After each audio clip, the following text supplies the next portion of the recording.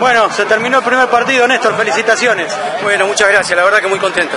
Bueno, ¿cómo viste al equipo? No, muy bien, la verdad que al principio nos costó un poquito propio de que no conocíamos este torneo, pero bueno, después, gracias a Dios, hicimos todo el laburo que veníamos haciendo durante estos meses. ¿Le sobró un tiempo? No, no, no, no, viene bien para la idea futbolística. Ellos se quedaron sin, sin un hombre, bueno, había que laburar el partido, pero gracias a Dios nos llevamos los tres puntos. Gracias, Néstor, felicitaciones. Chao. Néstor Fernández.